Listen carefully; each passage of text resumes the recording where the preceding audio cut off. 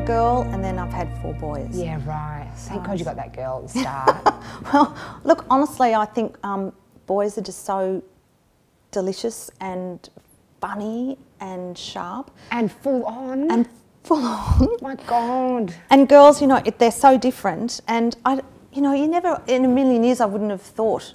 You know, I don't even know if I can't even remember thinking about want, having children, wanting children when I Yeah, was a child or a girl. And I would never imagine drumming up in my head.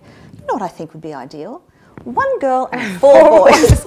But I am like that. I'm like, we've had one boy, just give me girls now. It was sad because our son's so full on. Sam and I'll sit on the couch. Like, I really hope the next one's a girl. I'm like, me too. Oh, do you read up all the things of what you should be eating to have the girl? but and all that? apparently there are things that yeah, you should I think do. it's codswallop. Yeah, so do I. Yeah. But if I get a few down, because I, I want a few kids, if I get down and I'm all Yeah. boys, then I'll start doing whatever it takes to get that girl. it takes. Look, it, it really is. It's just you. You're just so happy that they're they're healthy. Yeah, yeah, yeah. I know that sounds old-fashioned. No, but it is. It's God. That's really Yeah. all that matters. Totally. Yeah. Because there's a year apart between a couple of them. Yes. And then two between the last ones, is yeah. there?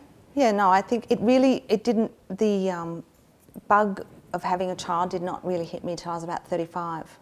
Wow. Just literally one day just went bang. Oh my God! I think I need to have children. Yeah, right. So before that, no desire. Um, not no desire. Um, I, I, and I think at the time, also we were being told, still that old school, you've got plenty of time up your sleeve. Don't worry about it. And we, I know we used to do dreadful jokes, like saying, "Oh, don't worry, I'll just get it. I'll just use IVF.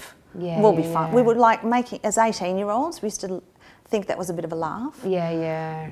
Not even contemplating for a minute that it seriously is probably an issue. Yeah. And and so I was 36 when I had my first child, and and I in hindsight I think well, uh, the timing was right to do Yeah. that, but if you can do it probably a bit earlier, yeah.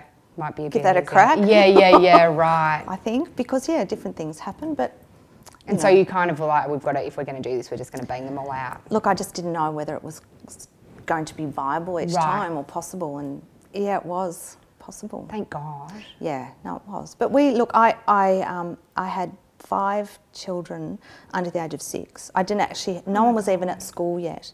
They were into Oh my. God. Yeah, and I would rock up with the double pram and a toddler and one in three-year-old kinder and one in four-year-old kinder to pick up.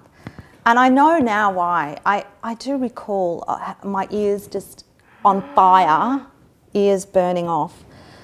Everyone was lovely, but yeah, I would stare now too. What a freak show! Oh my god! What the hell? what are you doing? And you It's did it on your own. You did most of it just you and Rob, didn't you? Well, look, no, look. My mum also lives around the corner, and we had um, we've had nannies over the years um, that have been fantastic, and they're gorgeous girls, and then get pregnant as well, which is fabulous for them, and really so fabulous Not for so fabulous for me.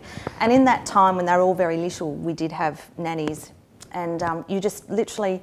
Work, work, work, and then you just write out a check, and then you give Yeah, the money away. yeah, yeah. And it's really expensive, and so it should be. And I really think that nannies should be paid well. They really should be because they're looking after your kids.